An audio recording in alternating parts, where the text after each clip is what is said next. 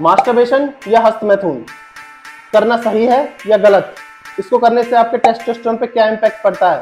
तो scientifically proof है testosterone पे आपके कोई फ़र्क नहीं पड़ेगा, पर एक्सेस लेवल पे मास्टरबेशन करने से आपको तीन इशू आ सकते हैं। पहला, आपके मेंटल हेल्थ पे इशू आएगा। सेकंड आपके जो बॉडी में जो इतना भी फैट है, उस पर इशू आएगा। तीसरा, आपकी जो बसल बिल्डिंग पे इम्पैक्ट पड़ेगा। तो कोई भी चीज़ करना है लिमिट से करना है। एक्सेस लेवल पे करने से ये तीन प्रॉब्लम याद रखना।